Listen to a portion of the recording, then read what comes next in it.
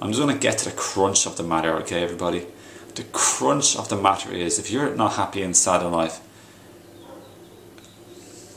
you got to make some big changes in your life and you have to be start to be honest with yourself is the number one thing in my spiritual teachings in the teachings of the spirituality the crown chakra the, the, the third eye the spiritual world the real real stuff when it comes to the crunch you got to be honest with yourself instead of and face your fears be honest about your fears and your programming and your your addictions and your attachments your hope your attached unrealistic or destructive negative hopes or desires and uh, attachments now.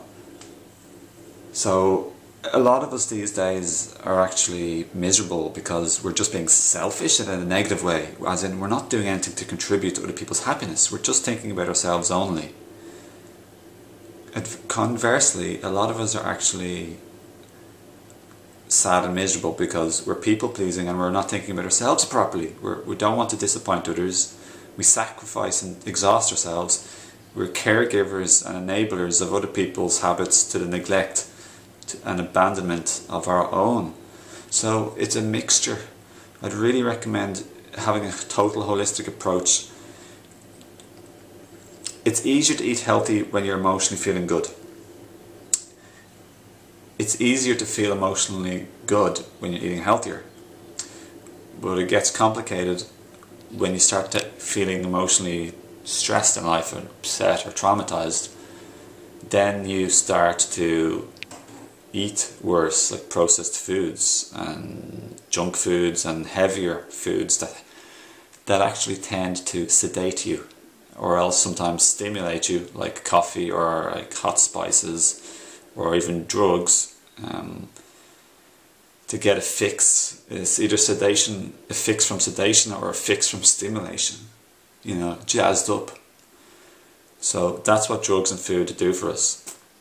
Um, so how I recommend tackling it, everybody, is to take a multi-pronged, holistic approach of body, mind, spirit, especially centering around spiritual and emotional stuff.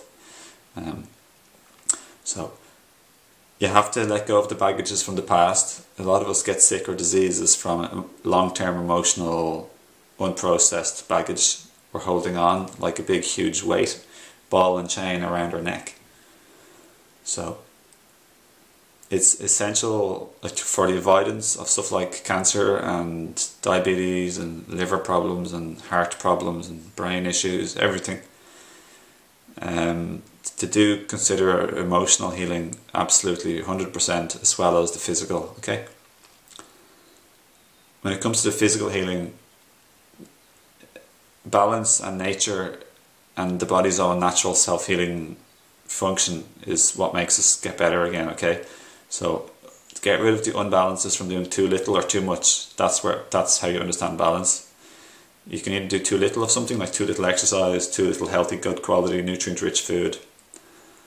Um, let's go here guys. Hear the birds. Too little time to de-stress and to relax and to unwind or too little rest, too little sleep. Um, too little herbal medicine possibly if that's what you need. Depends on what you need and it's different for everybody. Some people need more calories or nutrients depending on their stress or activity level or how big their body is as well or small or petite. Another thing people do too much of is too much activity, burning themselves out, too much stress. Stress is one of the worst things you can have. It affects you mentally, emotionally, cellularly, systematically, all your systems, your brain, your functioning of your organs, um, your nutrient absorption and utilization, everything really. So, happiness, on the other hand, and I, I want to recommend and promote fulfillment, spiritual and mental and emotional contentment and satisfaction in life. So, for example, if the person who wrote me that letter, or another person, if you're watching this now and you find that you're like in a bad place, an unhappy place in life, I'd recommend watching this video, highly recommend this about self-love, how to actually practice self-love, actually, realistically, truly, physically, in real life. Because a lot of us, including me in the past, could say, "Yeah, I love, I like myself, I love myself," but then you don't know how to do it. You see, one thing that I say sometimes is, how happy you are in life is actually a reflection of how well you understand and then practice self love. So that's a very simple gauge. Like, how really happy or not are you in life? And that's also a sign of how much you understand what self love is all about. And secondly, and most importantly, also, how well you're actually practicing it in all areas of your life. Um, self love, self nurture. And part of this is also knowing thyself, as Socrates would say, to understand and know yourself and what you need and want in life, what your true heartfelt, authentic inner desires are. Because if you don't know your true heartfelt, authentic inner desires, how are you supposed to be able to look after, manage, and and do and live out those things that make you make you sing and make your heart feel bursting and alive and joyful, make your spirit soar.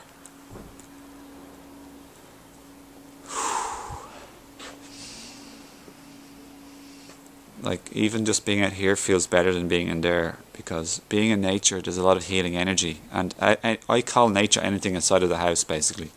Because right now I'm in, I'm under the sky of Mother Nature. I'm beside an apple tree. I'm beside all these like flowers and plants. I'm getting the fresh air of Gaia. Over there, there's a mountain in the distance. I have the daylight, natural daylight. And then I'm standing on Mother Mother Earth as well. So, so I'll just name a few things that you can do. Um, you need to stop doing things that are negative okay, in your life. You need to start doing things that are positive more. So stop doing, get rid of, throw out, stop seeing or stop going to the places which bring you down and make you feel unhappy, jittery, nervous, not good, okay? That can be called negative. Start seeking out, looking for, writing to, corresponding to people or going places that make you feel happy, joyful, and excited. People who you find bring out the best in you all the time, that they encourage you, they inspire you, that they're positive role models. So let go of the people who are negative embodiers. They're not deep down. They're good spirits, of course, but temporarily in the physical, they could carry and share a lot of negative negativity. Let go of these people. What's the point of hanging on to them? You can I want to say something to you that you might not know, okay? Acceptance acceptance is a feeling in your heart. And so is love. It's a feeling in your heart. It's not necessarily an actual real life physical behavior. So you can accept and love someone unconditionally, but that doesn't mean you have to be physically, literally hanging around with them all the time. You can extend love and feel love in your heart from a distance to people. Wish them well, wish them healing, wish them to enjoy their own free will life of free will. But you're actually abandoning yourself and neglecting yourself if you're going to be hanging around with people or spend, living in or spending time in places that bring you down. Pubs, social occasions. You should, hour by hour, want to be uplifting your spirits and fulfilling your soul, so to speak. If you are actually attentively practicing self love, eating as healthy and carefully and gratefully and consciously as possible, practicing appreciation and gratitude, and praying and trusting. Highly recommend connecting more with the, the crown, the, the spirit. The, see, there's two worlds, okay? There's the physical, temporary, human level of existence. That's all temporary. It comes and goes. That's our personality, our name, our body, and everything you see in the world. That's all the things and the people. That's all temporary, physical, and fleeting and passing. Okay, and that has its place. It's wonderful. This I'll put a video here, another one. Okay, so you can watch that. Which explains it much more in detail. Then there's the spiritual perspective. That's the um, the long term perspective, the the everlasting perspective, the deeper truth rather than the temporary physical human limited mind perspective. So there's for everything there's a spiritual and physical perspective, or a, a long-term bigger picture and a short-term, smaller, temporary passing picture. So the secret is to understand both ways, not to neglect one and not or the other, and not to like puff up and make one too big and better than the other, which some spiritual teachings and traditions do inaccurately, in my opinion, completely. It's like throwing the baby out with the bathwater. You try say just because this plant is going to die, or just because my body will pass, then forget about it. Just like whip it, whip the body, like some traditions used to do. Don't give a crap about anything physical, including sex, because it's all like just screwed up teachings, to be honest, from people who still still didn't know a lot of stuff about life. So it's about the incorporation, integration of both at the same time. That's how you live a masterful, fulfilled, powerful life of health, of body, mind, spirit, and emotion, where you actually tune into your higher, deeper self at the same time while living on the physical, temporary earth in your physical, temporary body and personality. It's extremely beautiful and powerful to live that way. More and more as you go along the journey so that's what mastery is, and I've heard that from channels, channeled uh, messengers as well. Huge part of being happy is letting go of what's holding you down from the past, your childhood wounds and traumas and conditioning, like your cultural and family beliefs. Have your parents been criticizing you or saying you can't do this, you can't be a singer, you can't be an artist, you have to be do this instead, and then you believe things, you take it on board, you can call them limiting beliefs. And then, so part of healing is to let go and recognize and to be self honest with yourself about these things and to be vulnerable, naked, to share that with yourself or with other people and to change your perspective. To go out and face your fears is a huge thing. Face your fears and stop living in the box of your comfort zone which I know will probably ring true so many people right now. You're like thinking, how do you know, Owen? This is like exactly what you're describing what I'm going through right now. I've been living in this shitty circumstance for ages and I'm unhappy and miserable. Maybe in my relationship, my marriage, it's just crap. So there's two things you can do if it's something you're living in a crap situation. And that's work to fix, change and heal it or separate from it. There's no point in staying for years and years and years and years and years and years in a terrible, unfulfilling, dissatisfying, or even a destructive, or especially even an abusive relationship or habits or place that's really not suitable to you. Like, for example, living in a city for some people is a nightmare, living in the country for another personality is a nightmare it goes back to what I was saying earlier about self self knowledge, like know thyself, and then self love in action. Steps daily. I really recommend a raw vegan diet, guys, strongly and powerfully. And when I say that, I don't mean all or nothing, which is the the basic immature human mind or the human. it's like trying to say like, if the human mind will say, "Oh no, that's not a big, fully grown tree. Fuck it." Doesn't matter. It doesn't not good anymore. That's like saying, oh, your diet's not 100%, whatever. You're not exercising 100% perfectly. Just like you're you're a waste of time. so we are like we are like we have the oak tree potential in us. It's genetically and spiritually there. Like, but we're all at different stages of growth, from a little baby sapling to a bigger, slightly small, younger tree. We're all growing, and the secret is not to compare yourself to another person, but to simply compare yourself to where you were before and say, oh, I'm doing a bit better now. Well done, Owen. Well done, me. Well done, you. I'm glad you're doing good. You're doing better than before, and well done. You know, life is, can be hard and it's challenging and it's good that way spiritually. The big picture, it's meant to be. And all of your wounds and traumas and past experiences, by the way, um, on a human level, I'd love to say it's a, it can be a very sad perspective sometimes hearing of the abuse and the pain. But then on the spiritual level, and you, you, you embrace both, by the way. You don't kill the human way by saying, oh, it's meant to be, and have no feelings of love or compassion or tenderness, you know. I went, I suffered so much for the first, like, 23 years of my life. And now I'm 33. But um, I had a lot of hard things happen to me in life from the very start. Even only at 33 now, overcoming something that was a, a massive loss from the age of 20 to 33. Yeah. That's where my old, beautiful, lovely cat Fluffy is buried. I loved her so much, and I still do, and maybe she's still with me, strongly in spirit. As I was told lately, some of my passed on loved ones have are very involved in my life still. And you have your loved ones and angels and uh, spirit family with you too. So I want to say, don't worry.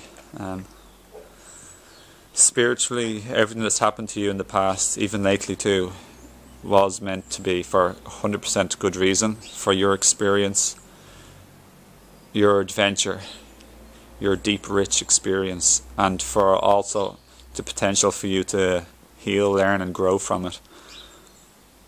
And to make you'll just you'll grow as that as that apple tree. You'll grow as a result, and you'll become a fully fledged, more fully fledged human being. You're going to look back and be so happy with everything that happened in your life. Like that's how I feel now, you know. I feel glad, and I wouldn't take back one moment. Um, and from a human perspective, you can feel a bit of sadness there because I experienced a lot of sadness and loneliness in my life, hurt and pain. But without them, I would not be me who I am today, because I'm a deep feeling, loving, caring, compassionate person, a human, divine being. I'm now live. I'm now able to live more than I used to for my divine nature, but in the physical world also at the same time.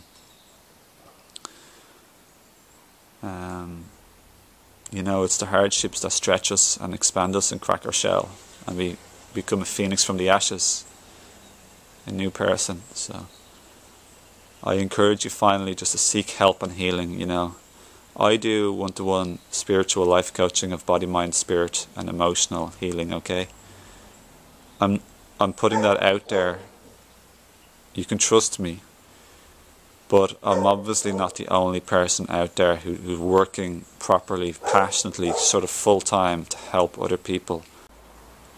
So there's energy healers on the internet and in your area probably. Go out and seek help. Spend money. I keep saying that to people. We spend money on anything in life, especially stuff that's destructive for us. And then we're hesitant to spend a lot of money on things that heal us that's ridiculous, to be honest. It's a big joke. no judgment, but I love speaking candidly too, as well as spiritually. and it feels good, and that's why I'm laughing because like it's very freeing to liberate the energy and let it flow, so you can actually speak, or cuss or curse or whatever you feel like doing. That's like real and genuine in your heart. so. I encourage healing as the number one priority in life if you if you want to grow and heal. That's what I do. It's like I spend money and um, I always just try and look at my own psyche and my heart and consider different elements, all chakras, and see where you might have any blocks and issues. And the number one thing that will tell you you have an issue is when you have an emotional flare. Lovely birds. And that's when you can look within and say, what's my belief? What happened to me in the past that's making me feel this emotion? And you don't blame it on anybody else who's bringing, helping to bring up the emotion for you to see and to heal. So you look within and you and you do a little bit of inner investigation into your mind and your psyche and your belief systems, your beliefs, or maybe your judgments as well and then you, as you let go you feel better emotionally so your emotions are your helpers and your signals to help you okay so I'll end this video now and if anyone's interested in further stuff of my work or you'd like to work with me or collaborate with me or even interview me I'm available and I'll be really passionate and grateful and, and like to work with others and to collaborate um, maybe even do workshops talks work with talks or seminars or online interviews. Um, I've written two books now, to help people. And my most recent one I'm very proud of especially but the first one was harder work probably but the most recent I'd recommend Emotional Mastery. It's about emotions and healing and emotional well-being. I'll have more books in the future. Um, I have a lot of YouTube videos so please feel welcome to um, look at my videos, subscribe to the channel, and if you like this, please do. I ask you just to give it a like. It helps the YouTube search when you people like search for these topics, and I think this could be a really good beneficial video now. So I'd really, really, really would appreciate you at least give it a like or maybe a comment or both. It would help the search engine optimization and would help promote this video and my work in my channel. So I personally do thank you for doing that. Okay. Um, um, I also have a, herb shop called higherselfherbs.com, which you can see in the link below.